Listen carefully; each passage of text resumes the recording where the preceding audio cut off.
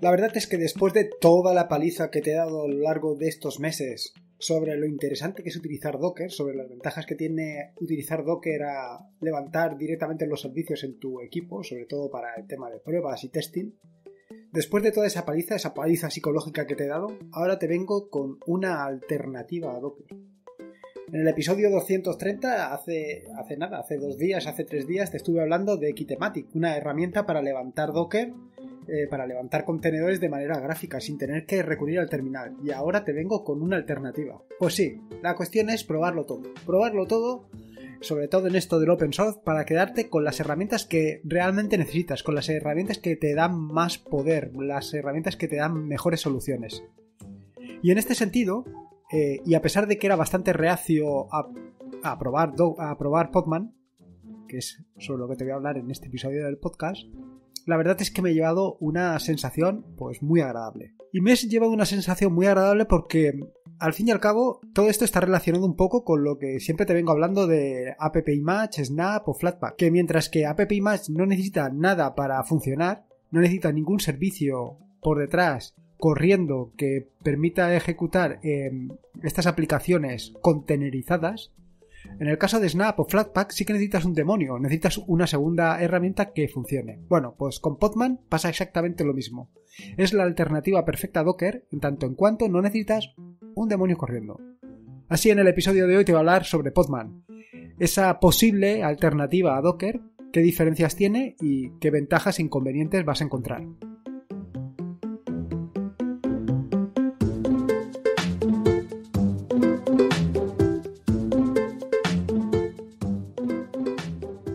Soy Lorenzo y esto es atareado.es. Este es el episodio número 231, un podcast sobre Linux y Open Source.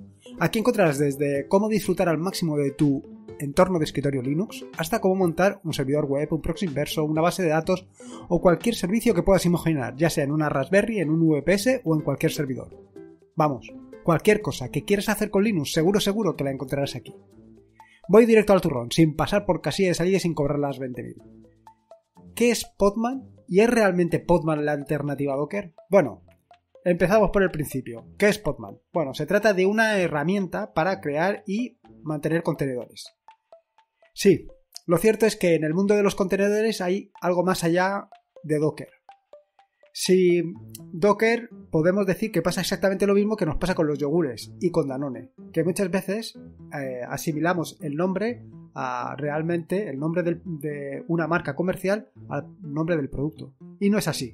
Pues con el tema de Docker y el tema de los contenedores pasa exactamente lo mismo. Hay más allá de más allá de Docker. Hay contenedores más allá de Docker y puedes trabajar perfectamente con otras alternativas como puede ser Podman. Podman es una alternativa muy válida, una herramienta open source que tiene una ventaja clara y que veremos un poquito más adelante sobre Docker. Y es que no necesita un demonio corriendo en segundo plano para su funcionamiento. Vamos, lo que te he dicho en la introducción. Lo mismo que sucede con AppImage frente a Snap o Flatpak. No necesitas nada más allá del propio AppImage o no necesitas nada más aparte de, el propio binario de Podman para ejecutar un contenedor pero ese binario no va a continuar en funcionamiento, sino que simplemente se va a encargar de levantar el contenedor y punto. Lo siguiente que te vas a preguntar es, vale, ahora que más o menos ya empiezo a controlar Docker, más o menos ya tengo una idea de lo que es, lo maravilloso que era Kitematic, que no tengo que preocuparme de venir a la Tierra para empezar a lanzar contenedores, ahora tengo que aprender una nueva herramienta. Bueno, pues lo más interesante de todo es que no necesitas aprender absolutamente nada o bueno, o poco. Quiero decir que si ya conoces Docker, si ya tienes unas nociones básicas de cómo funciona Docker, cómo puedes descargarte una imagen, cómo puedes levantar un contenedor o tumbar un contenedor, si conoces un poco esas herramientas, no tienes más que utilizar un alias. Un alias de Linux que sea alias Docker igual a Podman y ya puedes correr cualquier contenedor con Podman igual exactamente que lo corrías con Docker. Una ventaja, ¿no? No tienes que aprender absolutamente nada. Y esto para mí es una de las grandes ventajas. Y precisamente es lo que ha, digamos, retirado todos esos temores que tenía de enfrentarme a Podman, de tener que aprender todo un nuevo conjunto de instrucciones o todo un conjunto de comandos para poder eh, volver a utilizar una herramienta que gestione contenedores. Olvídate. Con Podman los mismos eh, los mismos comandos, los mismos, el mismo conjunto de herramientas e instrucciones que estabas utilizando para gestionar tus contenedores con Docker, lo puedes utilizar exactamente con Podman. Simplemente tienes que cambiar Docker por Podman. Ya está. Y una vez llegados a este punto te estarás preguntando, vale, bien, pero ¿cuáles son las diferencias entre Docker y Podman? ¿Cuáles son los parecidos? ¿Qué ventajas tiene de utilizar una tecnología o de utilizar otra tecnología? Bueno, básicamente y lo más importante, ya te lo he contado al principio, es que eh, una de las características básicas de Docker es que utiliza un único servicio para dominar a todos los contenedores. En todos sus aspectos, desde la ejecución hasta el, almacenamiento, pasando por las redes, en fin. Mm, con ese servicio, con ese Docker, lo controlas todo. Evidentemente esto tiene sus ventajas y también tiene sus inconvenientes. La ventaja es que pues en cualquier momento puedes saber o puedes conocer, dirigiéndote directamente a la API de, Docker, en qué situación se encuentran las cosas, te puedes conectar a ella mediante llamadas RESAPI, en fin, puedes hacer todo tipo de operaciones. Sin embargo, también tiene sus inconvenientes, y el inconveniente claro de utilizar un único servicio que domine, que controle, que gestione a todos los contenedores, es básicamente que si ese dominio por lo que sea cae, pues van a caer todos tus contenedores o por lo menos no ya caer, sino quedar completamente descontrolados. Y llegados a este punto, entonces te preguntarás, ¿y Podman cómo lo hace? Bueno, pues Podman, en lugar de tener un único servicio centralizado que lo controle todo, pues lo tiene todo en piezas. Y en piezas de manera que te permite hacer o te permite ejecutar cada contenedor de manera independiente. Y esto es una gran ventaja porque evidentemente te vas a quitar el problema de que el servicio global haya caído. Aquí no hay servicio global, con lo cual no va a caer. Otra de las características que diferencia claramente a Podman de Docker es que Podman no solamente ejecuta contenedores, sino que también ejecuta pods. De ahí el nombre de Podman. ¿Qué son los pods? Bueno, pues esto tiene claramente una referencia a los pods de Kubernetes.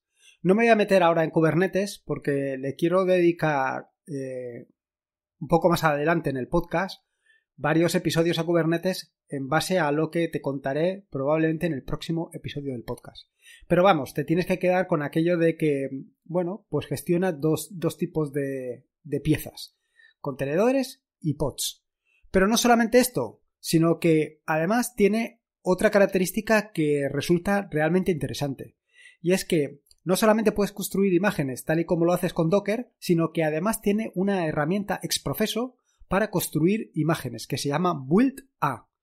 Esta herramienta no solamente te permite manipular imágenes, sino que además te permite crear a partir de un contenedor en funcionamiento una imagen, algo que seguro que te va a llamar la atención. Otra de las características que también me ha llamado poderosamente la atención, que me ha resultado súper interesante, es la posibilidad de ejecutar, o, más bien, de que no es necesario ejecutar tus contenedores como root. Podman tiene la habilidad de ejecutar los contenedores sin necesidad de que tengas la obligación de ganar derechos de administrador, sino que puedes ejecutar Podman con cualquier usuario. Y esto tiene muchas ventajas. Eh, no recuerdo exactamente en qué episodio del podcast te hablé sobre cómo podías eh, realizar mediciones de temperatura en la Raspberry. En este sentido, pues era necesario que tu usuario o que el usuario que lanzaba la aplicación tuviera em, derechos, tuviera permisos sobre los GPIO. Y si no tenía derechos sobre los GPIO, pues no podías eh, recoger, no podías recolectar información, no podías tener los valores de temperatura y humedad relativa del sensor que estaba conectado a esos GPIO. Evidentemente, si vas a ejecutar una aplicación que va a leer de los GPIO, lo vas a tener que ejecutar con un usuario que tenga derechos sobre los, GPIO. ¿Qué sucede? Pues que si lo ejecutas con root, pues evidentemente no solamente vas a tener derechos de administrador con la GPIO, sino que vas a tener derechos con cualquier cosa, con todo lo que ello conlleva. Sin embargo, puedes ejecutar un determinado contenedor con un usuario que tenga permiso sobre el GPU utilizando Podman. Y esto es otra de las características realmente interesantes. No solamente esto, también es posible integrar Podman con systemd. Y esto es algo a lo que seguro que hay que sacarle ventaja, seguro. Y por último, y no menos importante, no todo van a ser ventajas, también tiene sus inconvenientes. El primero de los inconvenientes de Podman es que es mucho menos conocido que Docker. La comunidad de Docker es muchísimo mayor que la comunidad de Podman. Con lo cual, pues el apoyo que puedes tener de la comunidad de Podman, pues evidentemente va a ser más reducido. Pero no solamente el apoyo, también, evidentemente, todas las herramientas que rodean a Podman. Eh, hay un ecosistema brutal de herramientas que dan soporte a Docker o que están basadas o que utilizan Docker para su funcionamiento. Sin embargo, con Podman, pues evidentemente menos conocido, menos soporte, menos herramientas.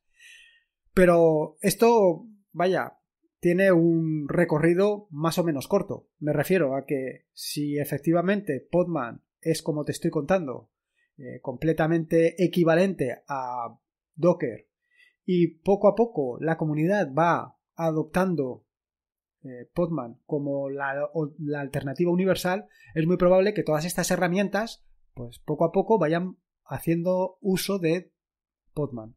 No solamente es eso, es que como te he comentado anteriormente, prácticamente son equivalentes con el tema de las herramientas que utilizas para gestionar uno o gestionar otro. Eh, simplemente lo que estás cambiando es el nombre del principio. Ya te he dicho que con un alias puedes resolver perfectamente la mayoría de las, de las situaciones. Con lo cual, pues mm, este recorrido que te digo va a ser muy corto. Yo creo que se van a adaptar muy rápidamente al uso de, eh, al uso de herramientas como puede ser precisamente eh, Podman. Por ejemplo, una de las herramientas que podrías echar en principio en falta en el uso de Podman es Docker Compose. Sin embargo, ya existe una alternativa a Docker Compose para Podman, Podman Compose, que hace exactamente las mismas operaciones.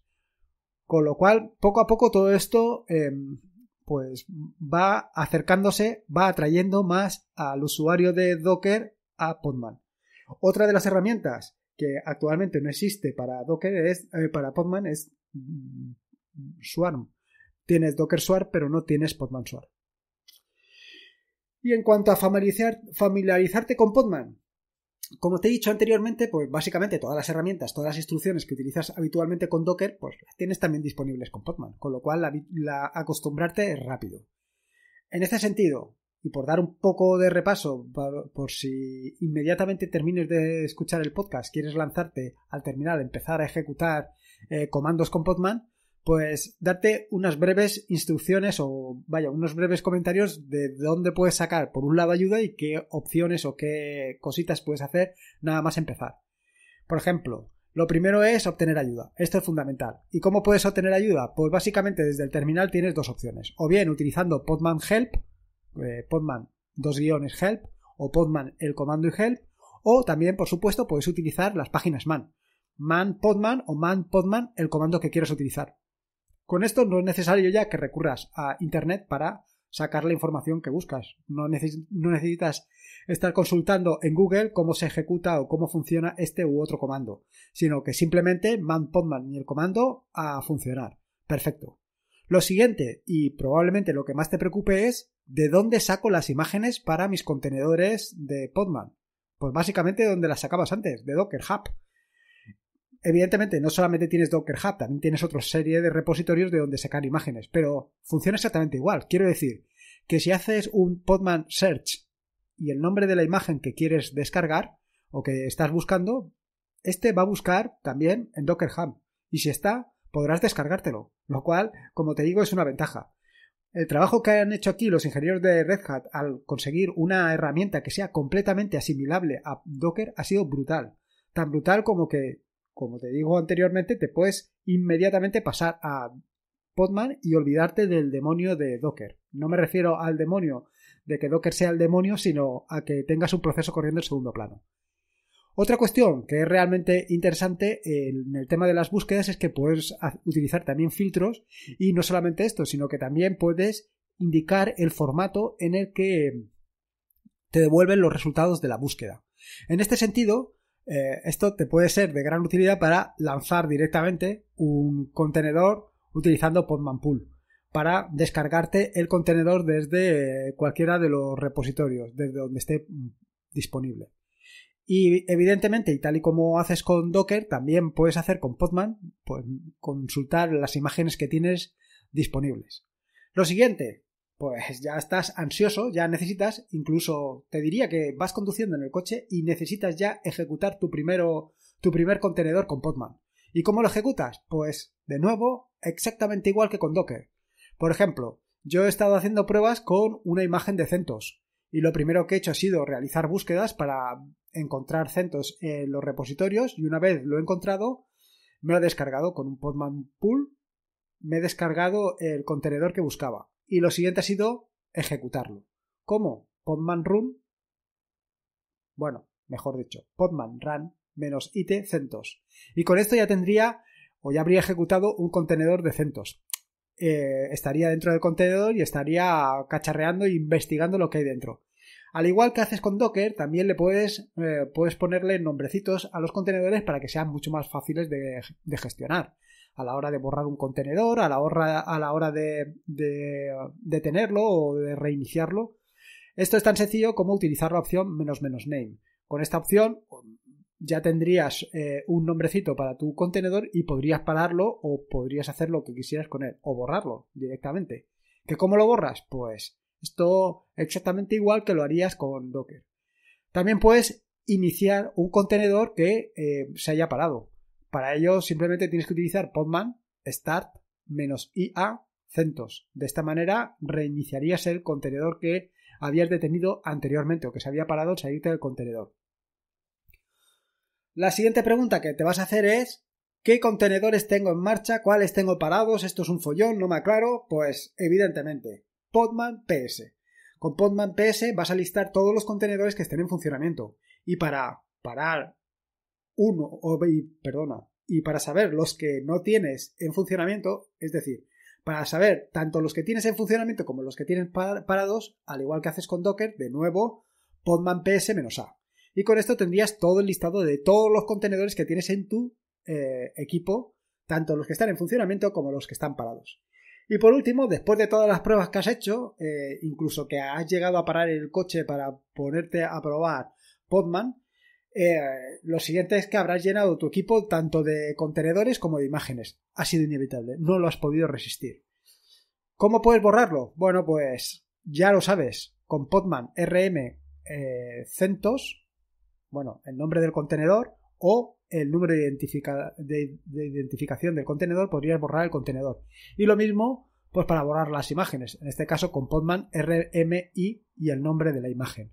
Y con esto, pues básicamente habrías limpiado tu contenedor, tu contenedor, tu equipo, tanto de las imágenes que no utilizas, como de los contenedores que no utilizas o de lo que tú quieras. Por supuesto que también tienes a tu disposición la opción Prune. Esta opción lo que te permite es tanto borrar las imágenes em, como los contenedores que no estás utilizando para absolutamente nada. Vamos, sería lo que eh, podrías denominar como una limpieza general de toda la basura que tienes en tu equipo, de toda la basura de imágenes y contenedores. Como ves, un poco con esta visión general de tanto las herramientas como las posibilidades que te da Podman, es prácticamente el hermano gemelo de Docker, pero sin demonio, sin un proceso en segundo plano que esté funcionando. Que como te digo, pues las ventajas son evidentes. Ese, ese proceso nunca va a caer porque nunca está en marcha. La mejor manera de evitarte un problema es no teniéndolo. Y no teniendo este servicio, pues vaya, vas a tener una ventaja. Y ahora, evidentemente, la pregunta que toca es, ¿qué hacer? ¿Trabajar con Docker? ¿Trabajar con Podman? ¿Es realmente Podman la alternativa a Docker? ¿Esto, ahora qué? Yo te puedo decir lo que voy a hacer yo. Ahora ya depende, o a mí me gustaría saber también lo que vas a hacer tú si es que eres usuario de, Docker. Y en ese caso, pues sí que me gustaría saber tu opinión. Y si no eres usuario de Docker, como te dije en el episodio de Kitematic, te recomiendo que pruebes, ya sea Docker o Podman, da lo mismo, que lo pruebes. Que lo pruebes para empezar a sacarle ventajas, porque le vas a sacar ventajas seguro. Yo, por mi parte, ya te puedo decir o ya te puedo garantizar que voy a migrar de Docker a Podman. Voy a migrar porque básicamente me sucede, como te he dicho desde el principio de este episodio del podcast, como App Match, Flatpak y Snap. Me molesta sobremanera tener un servicio corriendo en segundo plano que básicamente no utilizo para nada. Entonces, en este sentido, pues voy a migrar a Podman. Y como al final lo que tengo que hacer es exactamente igual en un sistema que en el otro, no creo que vaya a perder nada. Eh, ¿Qué es lo que sucede? Bueno, lo que sucede son las herramientas adicionales que no voy a tener. Esto pues habrá que ir estudiándolo poco a poco para ver cómo resolverlo. Y por otro lado, te quería hacer una pregunta. Ya que estoy metido en esto y ya que yo voy a migrar a Podman claramente, te quería preguntar si te interesa tal y como está el curso de Docker, el tutorial de Docker, si te interesaría un tutorial de Podman. A mí me parece algo interesante y estoy por hacerlo, pero también me gustaría conocer tu opinión, porque para eso me escuchas de vez en cuando. Así que tú me dirás. En fin, espero que te haya gustado este nuevo episodio del podcast. Recordarte que este es un podcast de la red de podcast de sospechosos habituales donde encontrarás fantásticos y espectaculares podcasts, como puede ser el de Papa Friki, que es estupendo y te lo recomiendo. Puedes suscribirte a la red de podcast de sospechosos habituales en cipres.me barra sospechosos habituales. Y como te digo siempre, recuerda que la vida son dos días y uno ya ha pasado, así que disfruta como si no hubiera mañana y si puede ser con Linux, y en este caso también con Docker, mejor que mejor. Un saludo y nos escuchamos el próximo jueves.